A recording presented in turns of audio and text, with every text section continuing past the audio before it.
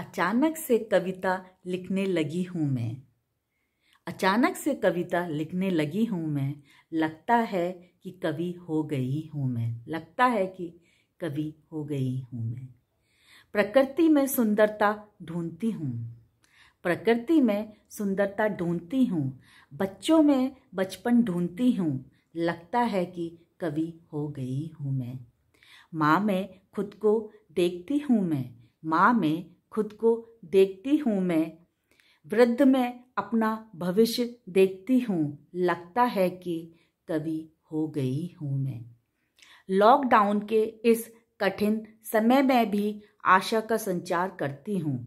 Lockdown के इस कठिन समय में भी आशा का संचार करती हूँ। पॉजिटिविटी ढूंढती हूँ मैं।